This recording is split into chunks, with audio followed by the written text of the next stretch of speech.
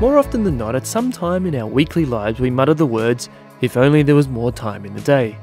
Yet, ironically, there seems to be heated discussions daily on social media forums about what movement is accurate, or it's rubbish if it's not even COSC certified. One brand, however, has managed to reverse this phenomenon, effectively slowing down time. Meistersinger, based in Munster, Germany, have been making single hand watches since 2001, taking inspiration from the first mechanical clocks of the late Middle Ages. They only had one hand displays and therefore literally pointed to an exact moment in time. This philosophy has pushed the brand upwards with a wide variety of complications now in their catalogue, including this amazing novelty piece, the Bell Hora released earlier this year. A quick shout out to Mad Associates who loaned this watch to me for the review. It's greatly appreciated, and I'm thankful to a company allowing a small channel like mine to have access to an array of interesting and different pieces. Before we get into the details, how the heck does this watch work?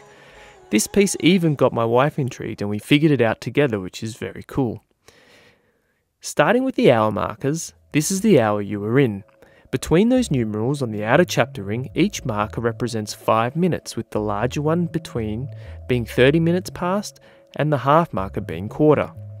Thus, you are not going to get the time accurate to the nth degree, but that's the point. You don't need to. The semi-polished stainless steel case measures in at 43.08mm and 13.48mm in height, including the dome sapphire crystal.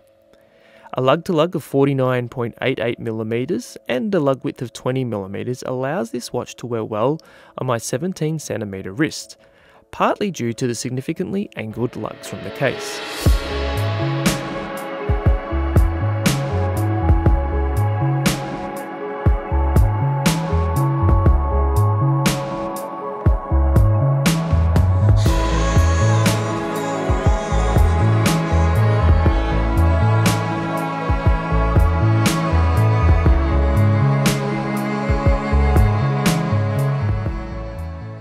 The thin bezel at the front of the case is highly polished along with the top and bottom of the lugs, while the side of the case has a semi-polished finish.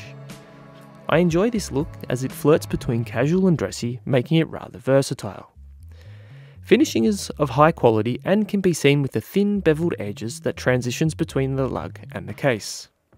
The brown calf leather strap with crocodile grain and contrasting stitching is soft and flexible enough to be comfortable from first wear. It tapers from 20mm to 17, well measured on my calipers, and also not overwhelmingly thick. They found the right balance which is nice to see. Other options include a Milanese bracelet or a vintage saddle brown leather strap for a more casual look. The buckle supplied on hand is a polished pin style with the company logo. I am told that when sold this strap will be normally be a deployant style. At the 3 position, there's a large polished sign, non-screw down crown which equates to 50 metres of water resistance. I enjoyed the size of said crown and made winding of the SW200 movement very easy with a smooth action. There's only one position when pulling the crown, which is the time changing function, but does have hacking of the movement which I found interesting. My favourite part was changing the time after a wind and getting to hear the charming ringtone as it passed each hour.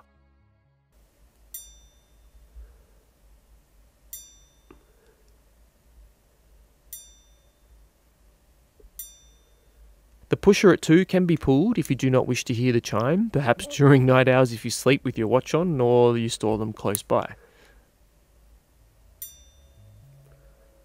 On the back there's an exhibition case back revealing the movement.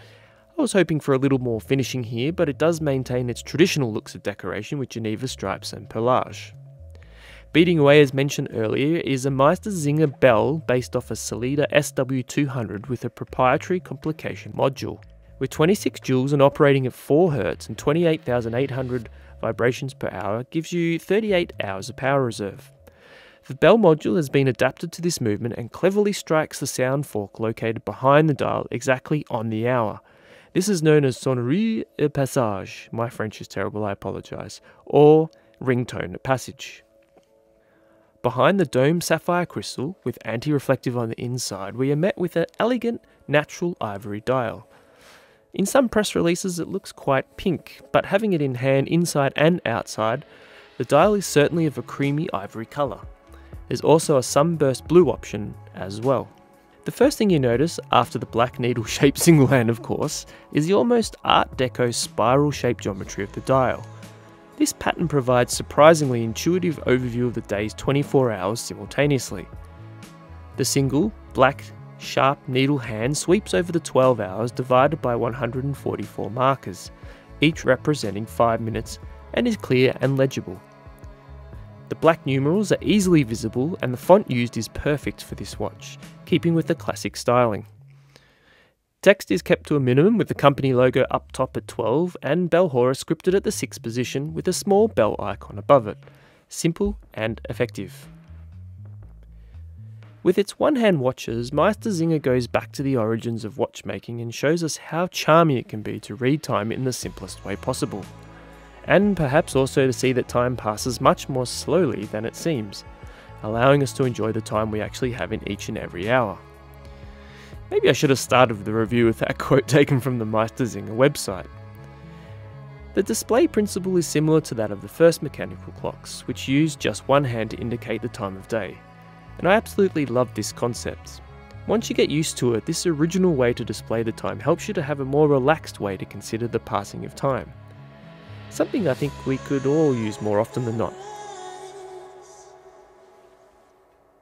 Thanks for watching the review, hope you enjoyed it. Please do all that good stuff. Like, subscribe, and share. If you want to follow more daily content, head over to my Instagram page at Mr. Ace K Productions.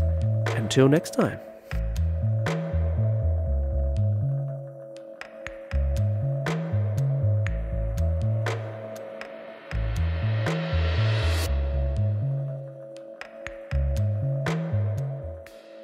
And Bell Hora scripted at the position. Uh, for f- sake. Where are you? Can you hear me? Yeah. Oh. Do I sound funny? I'm still recording.